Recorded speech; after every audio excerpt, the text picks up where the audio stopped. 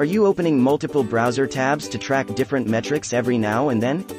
It must be tiring and time-consuming. How about checking important things in one place?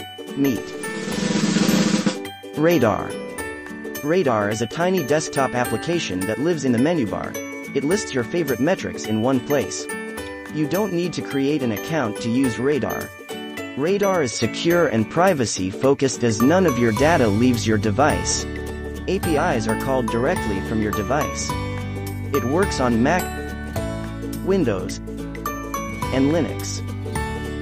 Bringing data to Radar is as easy as filling a form and pressing a button. Thanks to the ever-growing list of pre-built one-click installers. Radar is flexible as you can add any APIs and track metrics. You are never restricted to the available one-click installers. With the help of a global keyboard shortcut, you can summon Radar from anywhere in your system. Your data will always be fresh as Radar can auto-refresh your data in the background. You will never miss any significant change in your data as Radar can send you alerts.